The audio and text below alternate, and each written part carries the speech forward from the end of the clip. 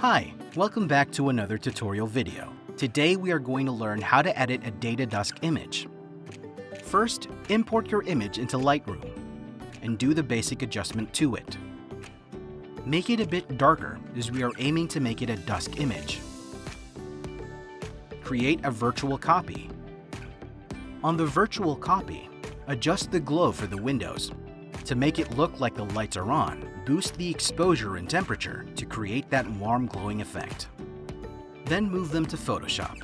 Select and right-click the two photos, then select Edit as layers. In Photoshop, make the window layer on top and add an inverted mask. Press the Alt key on your keyboard while clicking the masking button to get an inverted mask. Then select the window using Pen Tool.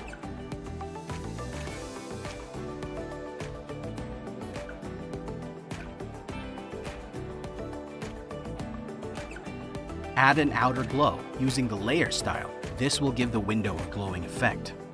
Adjust its color similar to the window color.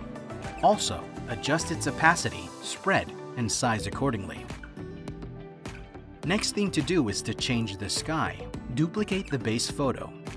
Then go to the channel panel and duplicate the blue channel. This will help us process the sky replacement.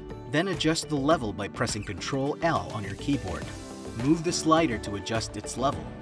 Make the non-sky area black.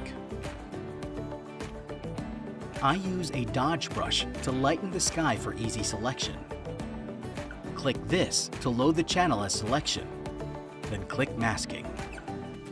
Now import the sky replacement photo. Adjust its position and make sure to blend the sky with the house. I use a burn tool to darken the house a bit then save it. In Lightroom, add some adjustment like darkening the photo to give the dusk ambience.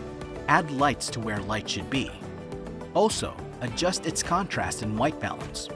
There are two kinds of dusk white balance depending on the sky you use. Purple pink sky has a cold magenta tinted white balance, while the yellow orange sky has a warm and green tinted white balance. And that's how you edit a day to dusk photo in Photoshop. Thank you for watching. I hope you find this video helpful. I'll see you guys in the next one.